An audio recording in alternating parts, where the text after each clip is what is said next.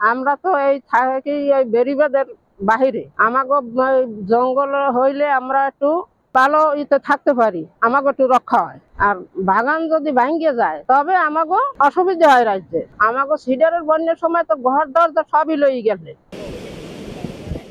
এভাবে উপকূলীয় বন ধ্বংসের পর সেখানে লাকড়ি কুড়াতে এসে আক্ষেপ করে কথাগুলো বললেন পটুয়াখালীর কুয়াকাটা সংলগ্ন দক্ষিণ মুসুল্লিয়াবাদ গ্রামের বাসিন্দা ষাটর্থ লাইলি বেগম।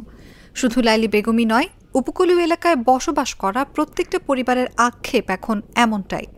শুধু রিমাল নয়, বঙ্গোপসাগরে সৃষ্ট সিডর, আইলা ফণি নার্গিস, মহাসেন, বুলবুল, আমফান, মোখাসহ প্রত্যেকটা ঝড় জলোচ্ছ্বাসে বিলীন হচ্ছে উপকূলীয় মানুষের রক্ষা প্রাচীরের দায়িত্ব পালন করা এই বনাঞ্চল।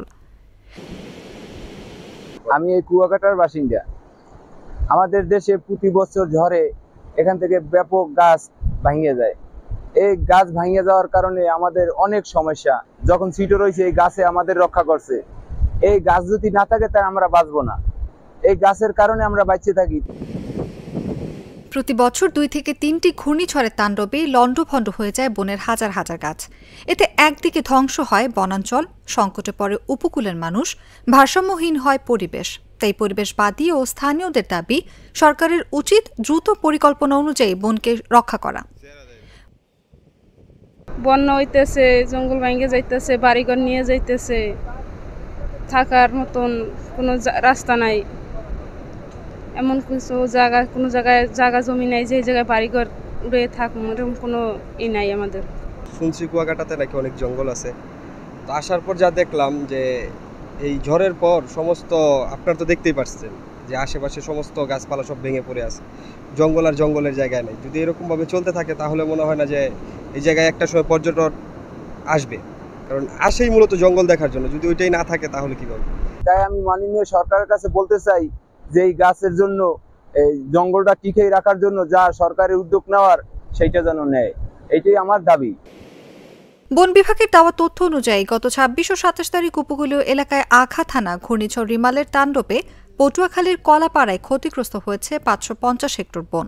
এতে ক্ষতিগ্রস্ত গাছের সংখ্যা প্রায় চৌত্রিশ লাখ চৌত্রিশ হাজার নশো বিরানব্বইটি, যার আর্থিক ক্ষতির পরিমাণ প্রায় দুই কোটি একাশি লাখ পঁয়ত্রিশ হাজার ছশো পনেরো টাকা। ঘূর্ণিঝড় পরবর্তী সময়ে কুয়াকাটা লেম্বুর বন গঙ্গামতির চর সহ পুরো উপকূল ঘুরে দেখা যায়। শত শত ঝাউ গাছ, কেওড়া ও শাল রেন্ট্রি, করমচা, আকাশমণি, জাম, অর্জুন সহ নানা প্রজাতির গাছ উপড়ে পড়ে আছে।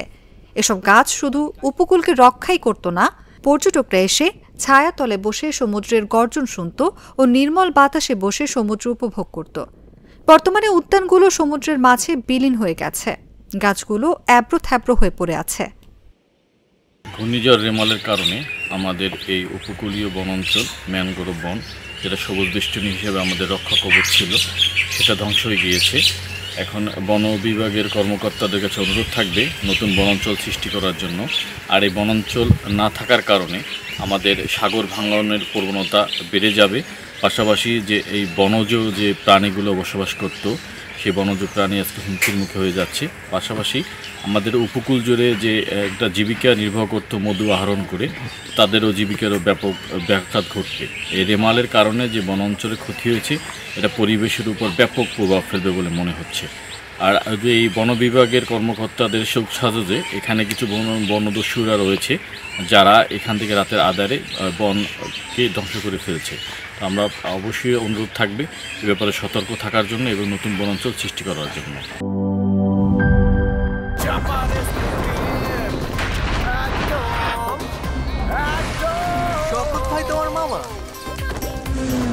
খাও, চাপার জোর পাড়াও